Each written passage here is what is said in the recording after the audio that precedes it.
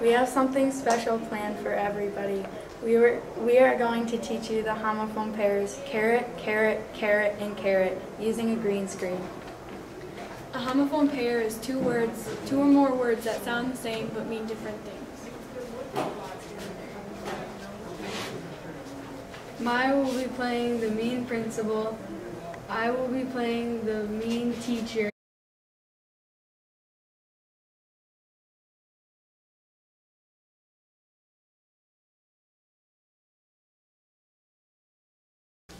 Caret, C A R E T, a mark used to show where something is to be inserted.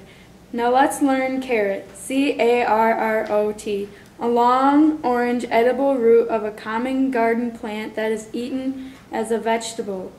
Karat, K A R A T. There's also another carat that means the same as this, but it's spelled C-A-R-A-T.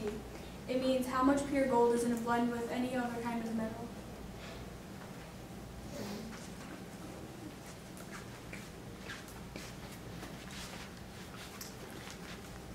What carrot looks like this?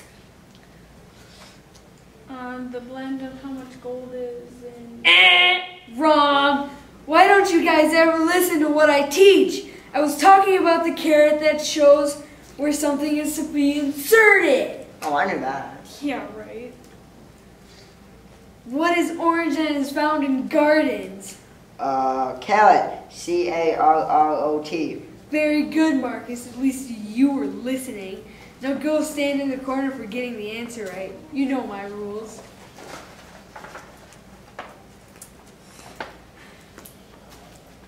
So, I heard Marcus got an answer right. Is that right, Marcus?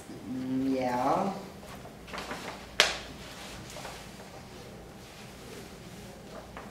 Marcus, that's where the dunce hat.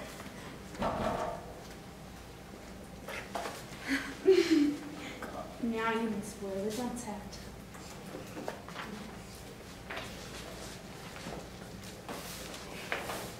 Do you want to wear the dunce hat and have after school detention? No, ma'am. Sorry.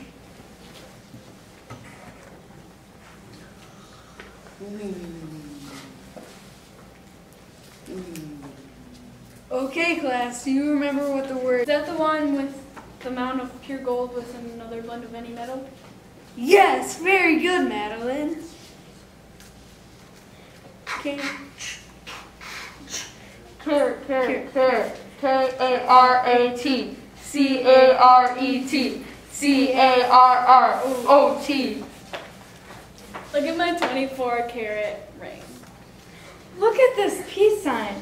Oh, wait, upside down, it's a caret. Singing in the shower. It's a carrot.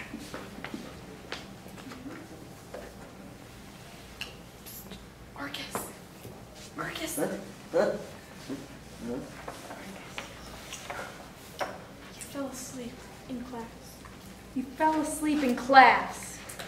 So make sure you remember the different kinds of carrots. Hi, I hope you enjoyed our video on the words carrot, carrot, carrot. All, all three of them are homophones. I hope you enjoyed the video.